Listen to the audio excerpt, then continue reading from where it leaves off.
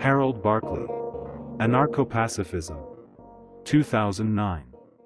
Anarcho-pacifists hold that anarchism is a philosophy of nonviolence, arguing that since anarchism opposes all domination, it cannot endorse the worst form of domination, which is violence upon another person.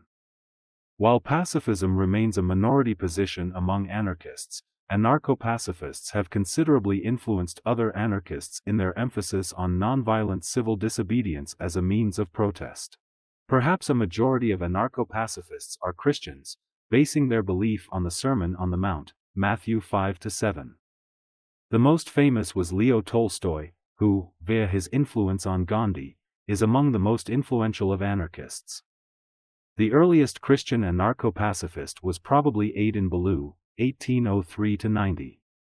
Later Christian anarchists include Russian existentialist philosopher Nikolai Berdyaev, 1874-1948, and French theologian Jacques Ellul, 1911-94. A few Christian sects might be placed in this category as well, although none would appreciate. Perhaps a majority of anarcho-pacifists are Christians, basing their belief on the Sermon on the Mount, Matthew 5-7. The most famous was Leo Tolstoy, who, via his influence on Gandhi, is among the most influential of anarchists. The earliest Christian anarcho-pacifist was probably Adin Ballou, 1803-90.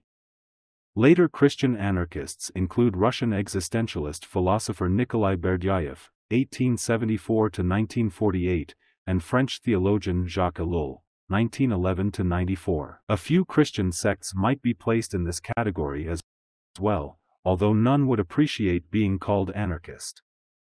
The conservative Anabaptist sects such as the Old Order Amish and the Hutterites believe there are two kingdoms, that of the world, represented by the state and violence, with which no Christian may be associated, and the kingdom of God, represented by the church as a holy community living according to the New Testament.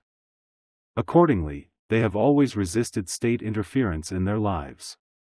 A group of Russian origin bearing some similarities to the Society of Friends, Quakers, is the Doukhobors, within which the Sons of Freedom subsect has, at least until recent times, been very militant in its opposition to state attempts to direct their lives.